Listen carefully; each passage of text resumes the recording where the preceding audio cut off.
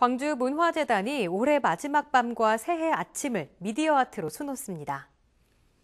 광주 문화재단은 12월 31일 오후 7시부터 2016년 1월 1일 새벽 1시까지 국립아시아 문화전당 민주평화교류원 외벽에 미디어 파사드 시연 행사를 진행한다고 밝혔습니다. 특히 이번 미디어 파사드에서는 미디어 아티스트 이인남 작가의 광주는 빛이다 등 4개의 작품이 상영될 예정입니다. 한편 이번 행사는 유네스코 창의도시 네트워크 가입 1주년과 국립아시아 문화전당의 개관을 기념하기 위해 마련됐습니다.